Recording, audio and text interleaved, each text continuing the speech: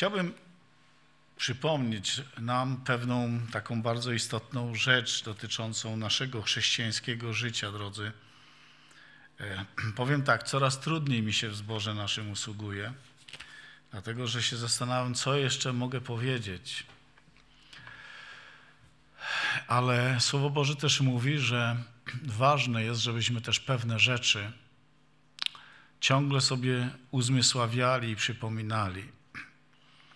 I śpiewaliśmy tutaj w, w tych pieśniach, które były, że taką e, naszym celem, naszym pragnieniem, na, naszą tęsknotą jest, jest Bóg, jest Jezus Chrystus. I myślę, że każdy z nas doświadcza w swoim życiu, że e, takiego, takiej ustawicznej walki, zmagania odnośnie tego, żeby rzeczywiście Chrystus był na pierwszym miejscu w życiu każdego z nas. E, dobrze jest, właściwym, właściwą rzeczą jest, kiedy e, przeżywamy, doświadczamy tego faktu nowonarodzenia. Właściwie bez tego, bez nowonarodzenia, tak w ogóle nie możemy mówić o chrześcijańskim życiu. Jeśli się człowiek nie narodzi z ducha, e, ze Słowa Bożego, to ciągle jest poza Bożym Królestwem. Może robić pewne religijne czynności, łącznie z modlitwą i czytaniem Biblii, ale jeśli nie, nie zostałeś przemieniony w swoim wnętrzu, w swoim sercu, to ciągle tkwisz w starym życiu, w starym systemie. E, chodzi o to, że każdy, który e, przychodzi do Chrystusa, jeśli przychodzi szczerze, jeśli przychodzi z tym pragnieniem że potrzebuje zmiany, potrzebuje przebaczenia, potrzebuje, żeby Bóg przemienił jego życie, to wtedy Bóg to czyni. Bóg daje to, po co przyszedł, po co posłał swojego Syna Jezusa Chrystusa, dokonuje tej wewnętrznej przemiany. Dlatego Słowo Boże mówi, jeśli ktoś jest w Chrystusie, jest nowym stworzeniem. Stare rzeczy przeminęły i wszystko stało się nowe. Czasami po tym fakcie, kiedy człowiek oddaje siebie, swoje życie Chrystusowi i Chrystusa czyni pierwszym w swoim życiu, czasami to jest bardzo wyraźne i mocne od razu, a czasami dzieje się to tak stopniowo, ale, ale ta zmiana jest i ona musi być, jeżeli chodzi o nasze życie, życie z Bogiem. Nie chodzi tylko o to, żebyśmy byli religijnymi ludźmi, a chodzi o to, żebyśmy byli zrodzonymi, narodzonymi na nowo ludźmi. Ale kiedy czytam Boże Słowo, zresztą e, po raz pierwszy e, chrześcijanami nazwano wierzących w zborze w Antiochii. O tym czytamy w 11 rozdziale dziejów apostolskich. I tam jest napisane, że po raz pierwszy użyto słowo chrześcijanie, dosłownie Christianus, e, odnośnie wierzących, którzy byli w zborze w Antiochii. E, to jest ciekawe, ale chrześcijanin nie pochodzi od słowa chrzest, jakby niektórzy Polacy chcieli. E, akurat w naszym języku chrześcijanin i chrzest to tak fajnie pasuje, ale chrześcijanin nie pochodzi od słowa chrzest, ale pochodzi od słowa Chrystus. E, słowo chrzest w języku greckim to jest baptizo, ale oni zostali nazwani Christianus, nie baptizo, nie ci, którzy zostali ochrzczeni, ale chrześcijanin to jest ktoś, no właśnie, kogo nazwano chrześcijanami? Komu nadano to, ten przydomek, czy tą nazwę? E, dosłownie moglibyśmy powiedzieć, to są ci, którzy należą do Chrystusa. Albo to są ci, którzy pragną od tego momentu nawrócenia naśladować Chrystusa. Oni uczynili Chrystusa Panem swojego życia. Oddali panowanie nad swoim życiem Chrystusowi.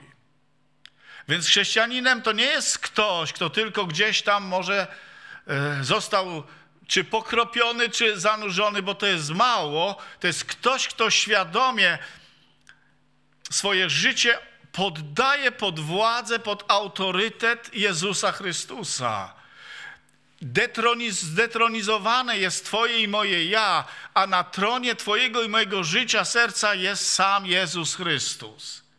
I dopiero później ten ten e, chrześcijanin, ci chrześcijanie, chrystianus, oni później na dowód tej wiary żywej odrodzenia są chrzczeni, zanurzani w śmierć i zmartwychwstanie Jezusa Chrystusa. I to ma wtedy ten biblijny sens i znaczenie.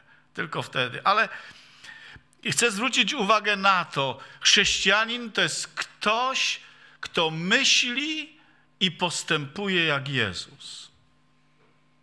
To jest człowiek, któremu zależy od momentu nawrócenia, zależy, aby być podobnym do swego mistrza, do swojego Pana, do Jezusa Chrystusa. Nie spotkałem nowonarodzonych chrześcijan, którzy by nie mieli tego pragnienia. Jeśli jesteś zrodzony z ducha i słowa Bożego, to przedtem, chociaż cię to nie interesowało, ale w tym momencie, kiedy doświadczyłeś tego, masz głębokie pragnienie, ono jest włożone w Twoje serce, w to nowe życie, którego stałeś się uczestnikiem, aby być jak Jezus, aby myśleć jak Jezus, aby postępować jak Jezus. I to jest to, co jest Twoim pragnieniem, pragnieniem Bożego dziecka. To nie jest coś, do czego pastor, inni starsi, czy też inni bracia i siostry muszą Cię na powrozie ciągnąć, żebyś Ty chciał być, myśleć tak jak Jezus, postępować tak jak Jezus. To znaczy, że się nigdy nie nawróciłeś. Ale to jest w Tobie samym. To pragnienie, ta tęsknota, to działanie w tym kierunku. To jest to, o czym mówi autor listu do Hebrajczyków, kiedy biegniemy w tym biegu wiary od momentu nawrócenia, tam jest napisane patrząc na Jezusa Chrystusa, sprawcę i dokończyciela wiary. Inaczej mówiąc, chrześcijanin to jest ktoś, kto po, chce postępować i postępuje tak jak Jezus, myśli tak jak Jezus i jest wpatrzony w tą najważniejszą osobę, a ona jest centrum jego życia, centrum jego uwielbienia i centrum tęsknoty. To jest chrześcijanin. To jest chrześcijanin, który walczy sam o siebie. Robi wszystko, aby żyć w taki sposób, taką jakością życia, jak jego mistrz, jak jego pan. Zobaczcie, drodzy, Słowo Boże w kilku miejscach bardzo wyraźnie nam o tym mówi. W liście do Efezjan apostoł Paweł w czwartym rozdziale, w wierszu trzynastym mówi tak. Mówi, Pięć urzędów zostało danych Kościołowi: apostołowie, prorocy, nauczyciele, pasterze, ewangeliści. Oni zostali dani przez Chrystusa Kościołowi, aż aby przygotować świętych do dzieła posługiwania, do budowania ciała Chrystusowego, aż dojdziemy wszyscy do jedności wiary i poznania Syna Bożego, do męskiej doskonałości i dorośniemy do wymiarów pełni Chrystusowej. To chciałbym zwrócić uwagę, że te służby, e, ci ludzie, którzy mają szczególne namaszczenie od głowy Kościoła, którzy dani są Kościołowi, oni Kościół przygotowują tych wierzących, pomagają im wzrastać, aby stawali się dojrzałymi, dorastali do wymiarów pełni Chrystusa. To słowo do męskiej doskonałości, już to słowo męskiej oznacza, że już nie, staj, nie jest tylko dzieckiem, niemowlakiem, ale jest już mężczyzną. On już jest dojrzałym człowiekiem. I ta dojrzałość polega na tym, że to są te wymiary, aby być podobnym do mojego mistrza. Wiecie, jeżeli każdy chrześcijanin by dostateczną uwagę, gdybyśmy przykładali do jakości naszego życia, to Chrystus byłby bardzo widoczny, coraz bardziej widoczny dla tych, wokół których żyjemy. I o to Bogu chodzi, żebyśmy byli nie tylko tymi, którzy mówią o Chrystusie, ale aby ludzie widzieli w nas Chrystusa. Widzieli Jego, słyszeli Jego sposób myślenia poprzez to, co my mówimy. Widzieli Chrystusa poprzez sposób naszego życia. Jak ktoś to nazwał, to jest taka piąta Ewangelia. To jesteśmy my, którzy żyjemy, praktykujemy, e, postępujemy tak, jak nasz mistrz. A, a, aby dorośli do tych wymiarów pełni Chrystusowej. W innym miejscu e, Słowa Bożego, e, Rzymian 8:29, e, także apostoł Paweł porusza podobną kwestię i mówi o tym. Wiecie, dzisiaj bardzo dużo mówi się o znakach i cudach. I ja jestem przekonany, że Kościół jest miejscem znaków i cudów Bożego działania. I jestem, mam to pragnienie i chcę, żeby to pragnienie było w ogóle, powinno być w nas, aby Boża moc objawiała się w naszym życiu, w naszej posłudze, w życiu Kościoła, w zgromadzeniu, jak najbardziej. Ale coś za mało ostatnio słyszę o tym, e, jakiejś takim pragnieniu, tęsknocie, wezwaniu do tego, aby chrześcijanie pamiętali, aby stawać się podobnymi do mistrza. Jakoś gdzieś to ucieka kosztem innych e, rzeczy, które są ważne, ale chyba nie najważniejsze w tym momencie. I w liście do Rzymian w ósmym rozdziale czytamy tak, w wierszu 29, bo tych, których przedtem znał, przeznaczył właśnie, aby się stali podobni do obrazu Syna Jego podobni do obrazu Syna Jego. Wiecie, to jest łaska, że e, tego do końca nie rozumiemy. Co to znaczy, że Chrystus jest w nas? My doświadczamy Jego realności, wiemy, co On dokonał dla nas i co dokonał w nas. My to wiemy. On przemienił nasze serca, nasze życie i przedtem, tak jak nie byłem zainteresowany Bogiem ani Słowem Bożym, tak teraz to się radykalnie zmieniło. Mam inne pragnienia, mam inne tęsknoty. Moja wola jest nakierowana, aby być posłusznym Bogu. Jestem przemieniony, jesteś przemieniony, jesteś nowym stworzeniem. Ale jest cel w tym wszystkim, że Bóg chce, żebyśmy byli podobni do obrazu Jego Syna. Inaczej mówiąc, żeby ludzie spotykając się ze mną mogli powiedzieć, coś w nim jest takiego pięknego, czystego, świętego. Co to jest? E, dobrze, gdyby, gdyby mogli sobie zadawać e, pytania w tej kwestii. W liście do Kolosan apostoł Paweł e, oddał to jeszcze troszeczkę inaczej. Jeden, pierwszy rozdział, wiersz 28 i 29. Pisze tak. Jego to zwiastujemy, napominając i nauczając każdego człowieka we wszelkiej mądrości, aby stawić go, aby stawić go doskonałym w Chrystusie Jezusie. Ale pozwólcie, że to słowo Y, doskonały przeczytam tak, jak też może być przeczytane, bo greckie teleios, doskonały, oznacza też dojrzały, w tym znaczeniu dojrzałości, aby stawić go dojrzałym w Chrystusie Jezusie. Nad tym też pracuję, walcząc w mocy Jego, która skutecznie we mnie działa. Paweł cały wysiłek, całą pracę kaznodziejską, nauczycielską, apostolską kieruje, aby Kościół czy zbory, które zakładał, aby tych wierzących doprowadzić do duchowej dojrzałości. Aby to nie były niemowlęta w Chrystusie Jezusie. Aby to nie byli ludzie, którzy nie wiedzą o co w ogóle chodzi, jeśli mówimy o chrześcijaństwie ale aby ich sposób życia dochodził do tej właściwej dojrzałości, do tego podobieństwa, do tych wymiarów Jezusa Chrystusa. Dlaczego to jest tak ważne?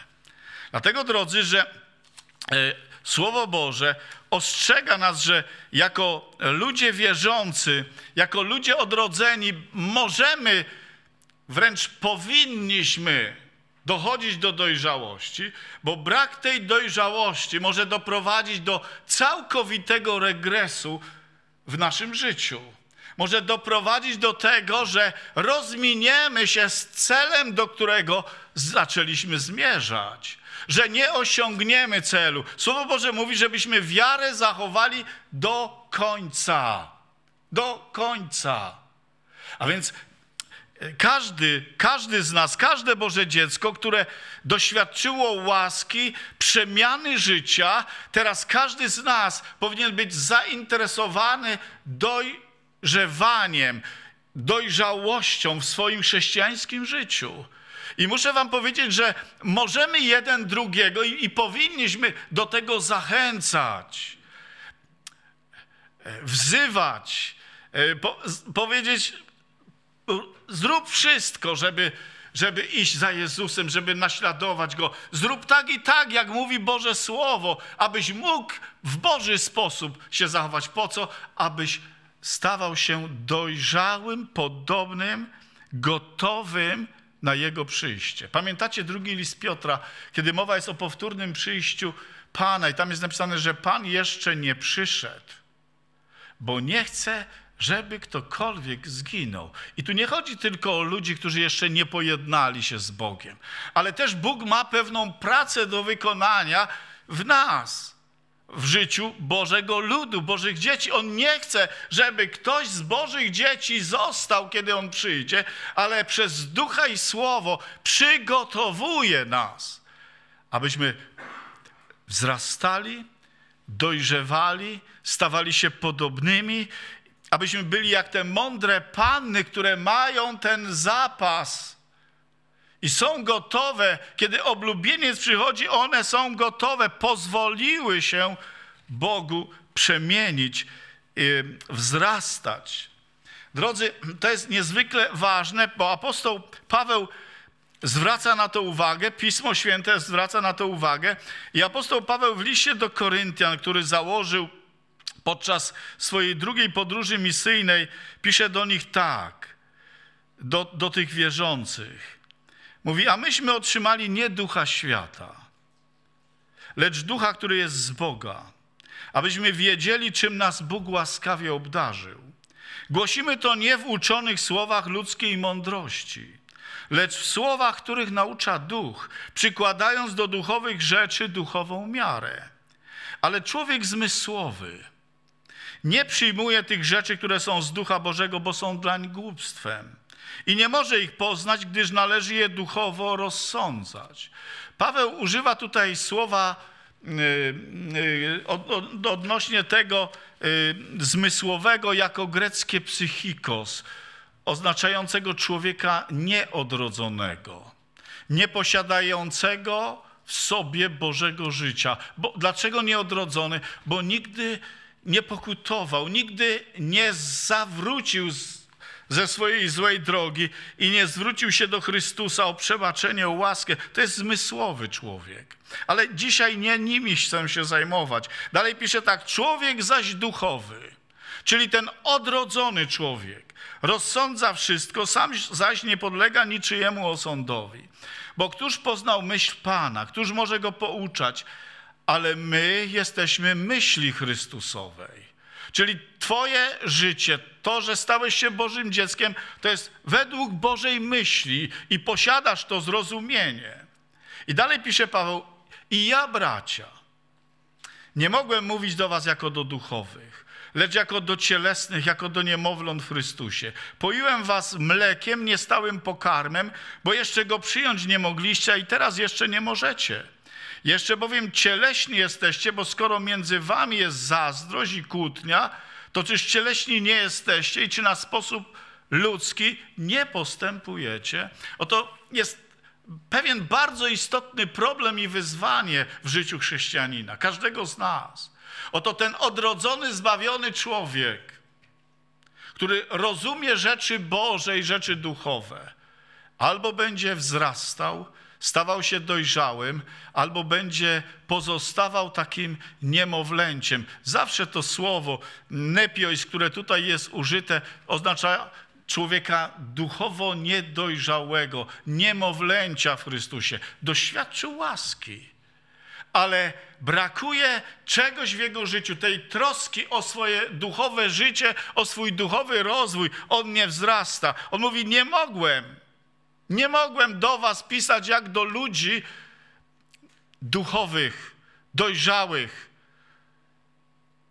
ale piszę do Was jak do niemowląt, piszę do Was, bo jesteście cieleśni, żyjecie według ciągle pragnień ciała, starej natury. I on tutaj rozróżnia tych chrześcijan odrodzonych na sarkinos i pneumatikos, duchowi i cieleśni. Jest chrześcijanin i taki, i taki, i duchowy, i cielesny. Drodzy, to mi przypomina pewną historię. Wiecie, e, tutaj podczas ostatniego referenu pieśni było takie, że, żebyśmy słychali i słyszeli to, co Bóg chce do nas powiedzieć.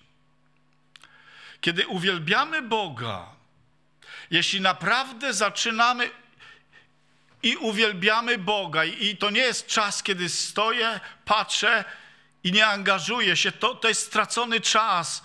I, I, to jest coś takiego, jakbyśmy lekceważyli oddawania chwały Bogu, bo tak jest. Ale kiedy się w to angażujesz, oddajesz Bogu chwałę, zbliżasz się do Boga, pozwalasz Duchowi Bożemu działać na swoje serce, a później Bóg chce do nas mówić, chce do nas przemawiać.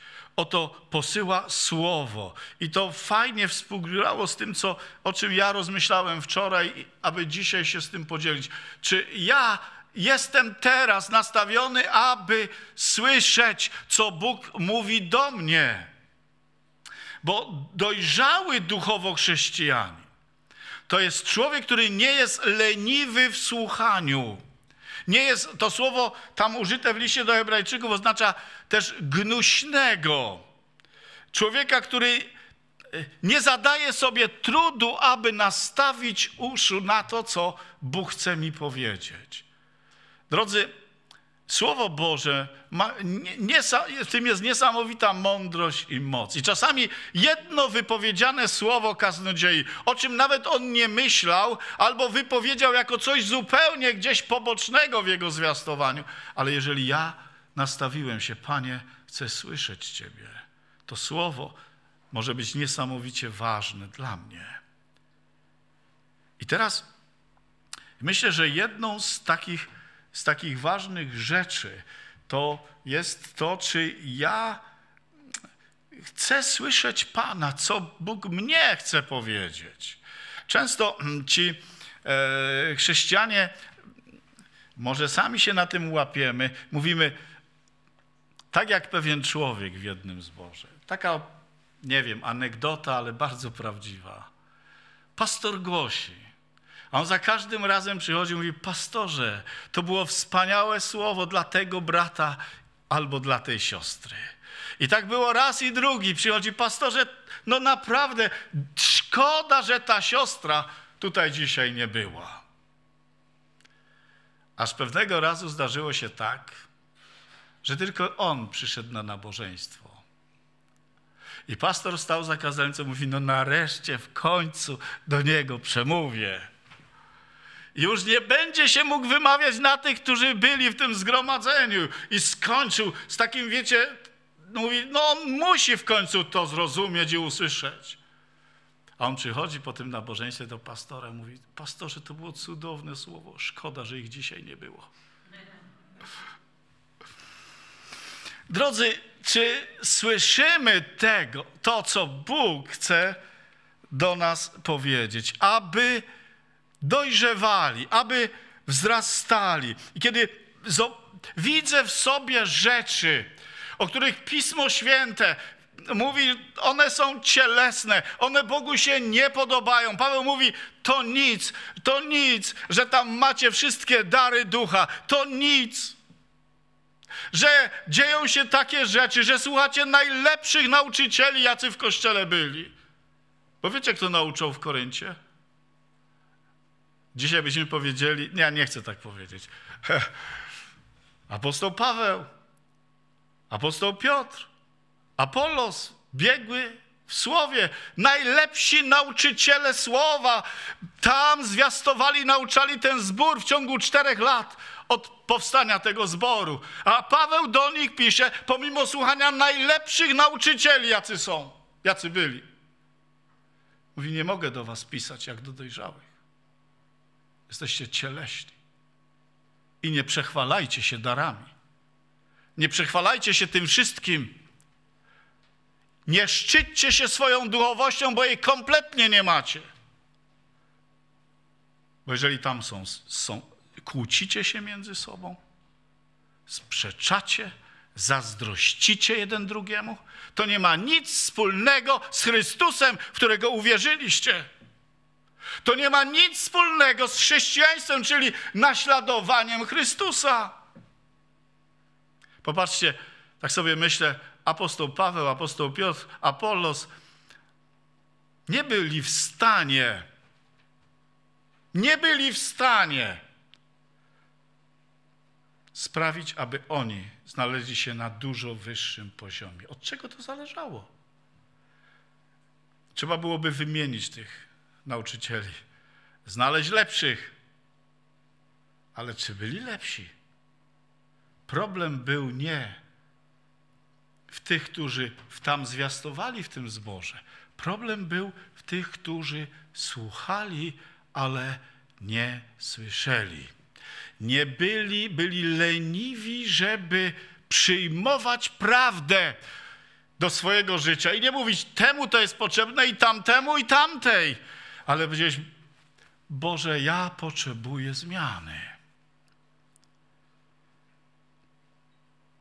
Mówi, poiłem was mlekiem. Nie stałym pokarmem, bo jeszcze go przyjąć nie mogliście, a i teraz jeszcze, jeszcze nie możecie. Bo ten cielesny chrześcijanin jest bardzo wyraźnie opisany, tak jak i duchowy, wyraźnie jest opisany. Jeżeli są swary, jeżeli są kłótnie, jeżeli jest zazdrość, jeżeli jest jakaś pozycja wywyższania się kosztem drugiego, Paweł mówi, to ciągle świadczy o niedojrzałości. Tak naprawdę potrzebujemy sobie przypomnieć, że Chrystus w Tobie i we mnie powinno nas satysfakcjonować w zupełności. Amen. Jeśli Chrystus jest we mnie, On jest moją pełnią, On mnie wypełnia, to ja nie muszę niczego więcej oczekiwać, poklasku, uznania, nie wiadomo czego, chociaż to są dobre rzeczy. Bo powinniśmy się zachęcać, pochwalić i tak dalej e, uczciwie. To są ważne rzeczy, ale jeżeli, jak pisze Paweł w liście do, do Galacjan, e, Jakub pisze, uważajcie, żebyście jeden drugiego nie pożarli. Dosłownie. Walczycie o coś. Zamiast zaufać Bogu, Jego łasce i pozwolić Duchowi Bożemu i Słowu Bożemu przemieniać nasze życie. I tutaj chciałbym, nie zdążę, ja tylko wspomnę, za, za tydzień, jeśli Bóg pozwoli, mam nadzieję, że to gdzieś nie zniknie z mojego serca. Będę próbował dokończyć. Jest niesamowicie ważny, drodzy, czas, który Bóg daje Tobie i mnie. Czas. Czas. Ja tak myślę, 40 lat Żydom na pustyni. To było ciągle mało czasu, aby zmienić swoje życie. Tam jest napisane w jednym miejscu, że tam na pustyni niektórzy nosili posągi różnych bóstw pogańskich. Nie dość, że nie weszli do ziemi obiecanej, to jeszcze ciągle w niektórzy coś robili całkowicie przeciwko Bogu. W liście do Hebrajczyków, w piątym rozdziale, autor tego listu mówi coś takiego.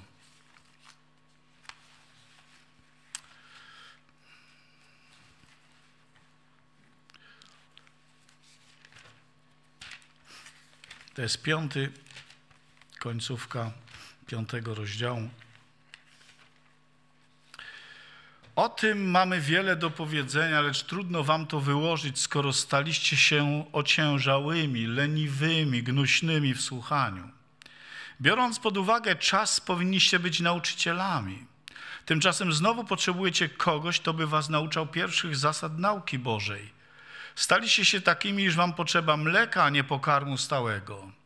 Każdy bowiem, który karmi się mlekiem, nie pojmuje jeszcze nauki o sprawiedliwości, bo jest niemowlęciem. Pokarm zaś stały jest dla dorosłych, którzy przez długie używanie mają władze poznawcze wyćwiczone do rozróżniania dobrego i złego. To był taki zawód. Autor listu do Hebrajczyków, pisząc do chrześcijan żydowskiego pochodzenia, mówi: Wielu z Was nie osiąga dojrzałości.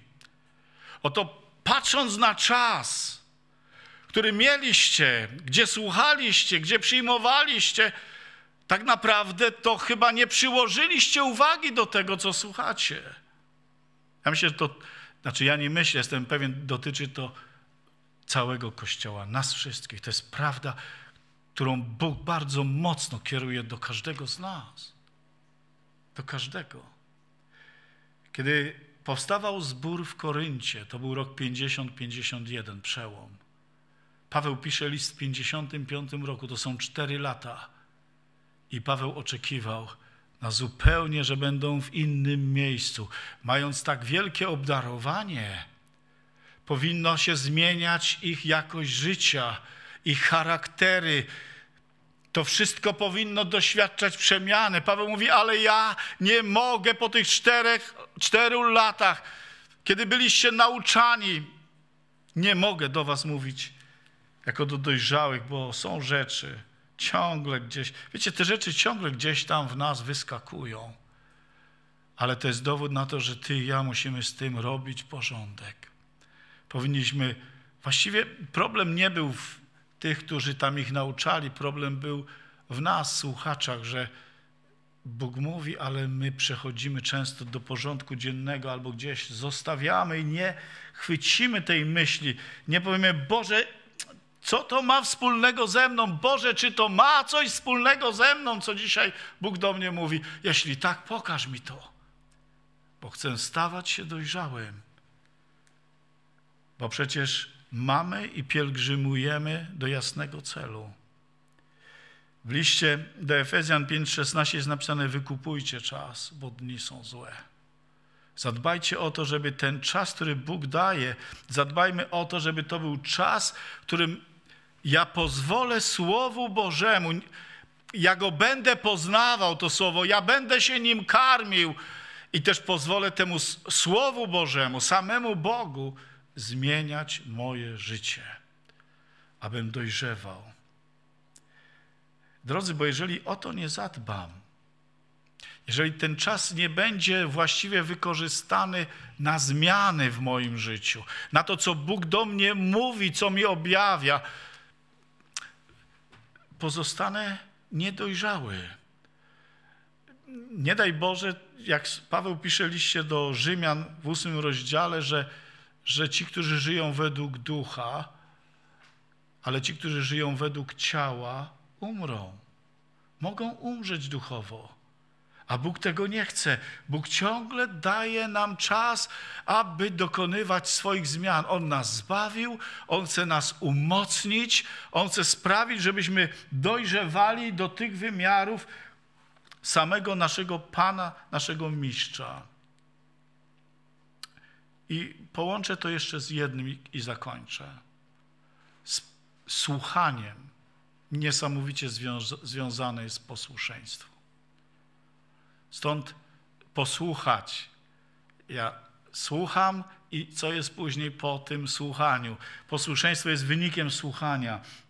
A więc czy ja biorę to słowo, nie mówię dobre dla tego czy dla tamtego, co dzisiaj Bóg mnie chce powiedzieć? Na co ja powinienem zwrócić uwagę? Czy są rzeczy, które ewidentnie wiem, Bogu się nie podobają i dalej, dłużej tak być nie może? Moje zachowania, moje, moja postawa, mój język, to musi się zmienić. To nie jest, że. A ja wiem, ta siostra ma z tym problem, albo ten brat. Ja. A więc posłuszeństwo. Bóg powiedział do króla Saula: Posłuszeństwo jest lepsze niż ofiara. On tak przyszedł do proroka Samuela, mówi: Ja wypełniłem słowo Pana. A Samuel mówi: A co to za ryczenie bydła tam w Twoim obozie? Najlepsze sztuki zachowałem na ofiarę dla Pana. Wiecie, obrzydliwe, bo jeżeli Bóg powiedział, wszystko będzie zgładzone. Nie wolno wam niczego. Jak on mógł z tego, co było pod przekleństwem, chcieć ofiarować Bogu? Oto Jezus mówi tak do Samarytanki: Ojciec takich szuka, którzy by mu cześć oddawali jak? Pamiętacie? W duchu i w prawdzie. Którzy by mu cześć oddawali w duchu i w prawdzie. W tym liście do Hebrajczyków w szóstym rozdziale jest mowa, mowa o tych, którzy zakosztowali, doświadczyli. W siódmym wierszu jest tej łaski. W siódmym wierszu jest napisane, albowiem ziemia, która piła deszcz często na nią spadający i rodzi rośliny użyteczne dla tych, którzy ją uprawiają, otrzymuje błogosławieństwo od Boga. Lecz ta, która wydaje ciernie i osty, jest bezwartościowa i bliska przekleństwa, kresem jej spalenie. A chociaż tak ale chociaż tak mówimy, to jeśli chodzi o was, umiłowani, jesteśmy przekonani o czymś lepszym, zwłaszcza co dotyczy zbawienia. Wszak Bóg nie jest niesprawiedliwy, aby miał zapomnieć o dziele waszym i o miłości, jaką okazaliście dla imienia Jego, gdy usługiwaliście świętym i gdy usługujecie. Pragniemy zaś, aby każdy z was okazywał tą samą gorliwość dla zachowania pełni nadziei aż do końca, abyście się nie stali ociężałymi, ale byli naśladowcami tych, którzy przez wiarę i cierpliwość dziedziczą obietnicę. Posłuszeństwo jest jednym z kluczy. Czas, aby karmić się, napełniać swoje życie Bożym Słowem i być posłusznym temu, co Bóg do mnie osobiście mówi, czego mnie uczy. I wtedy będę mógł wzrastać. Posłuszeństwo jest jednym z najważniejszych czynników w duchowym wzroście. Jeżeli będę posłuszny. Dlatego nie dajmy się, jeśli Słowo Boże coś mówi, zacznijmy to robić.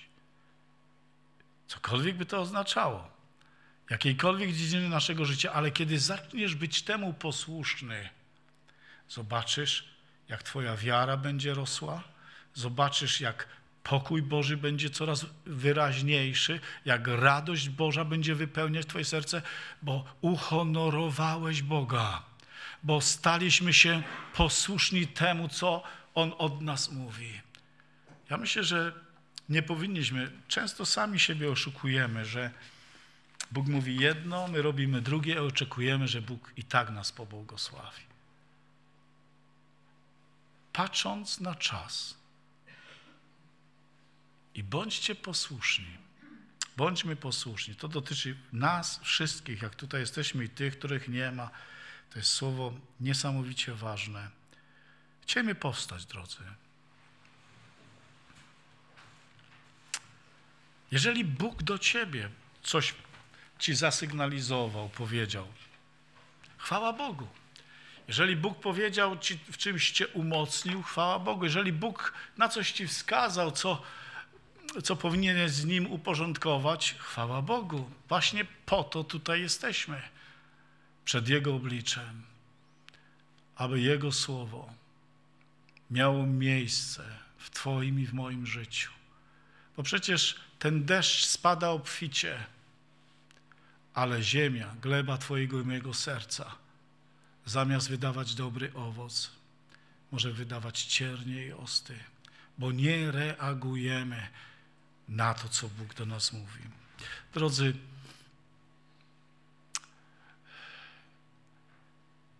wierzę, że Bóg do nas mówi, do mnie, do nas chce, żebyśmy przybliżali się do Niego. I Wierzę, że odbieracie to jako też wyraz troski i miłości o nas wszystkich. A ja też, że tak powiem, muszę dbać i pilnować samego siebie. bo jest, są rzeczy, których muszę gdzieś tam wycinać, bo nie mogę z tym być i Bóg się z tym nie zgodzi. Panie, dziękujemy Ci. Dziękuję Ci, że jesteś tutaj. Dziękujemy Ci za to, że Twoje słowo nie ma względu na nikogo z nas tutaj. Twoje słowo jest tak i amen. Panie, dziękuję Ci, że Ty posyłasz słowo, aby nas umacniać, aby nas oczyszczać, aby nas przemieniać, aby nas błogosławić. Dziękuję, że to słowo jest pochodnią dla moich i dla naszych nóg. Panie, tak błogosławię Twoje imię i błogosławię Twojemu słowu w moim sercu. Proszę, pomóż mi, Panie. Chcę, żebyś Ty był na pierwszym miejscu zawsze. Pomóż mi usuwać wszystko to, Boże, co Ciebie nie chwali. Panie, polegam na Tobie, na, nie na swojej sile, ale na łasce i mocy Twojej. Panie, chcemy wzrastać, chcemy być dojrzałymi, chcemy być tymi, którzy, Panie, pokazują Ciebie. Oto się modlę dla siebie i dla każdego z nas. Dziękuję Ci za miecz Twojego słowa, które przenika moje serce, moją duszę, moje wnętrze i modlę się, aby przenikało jeszcze mocniej, Panie, gdyż tego potrzebuję. Amen. Halleluja, Jezus.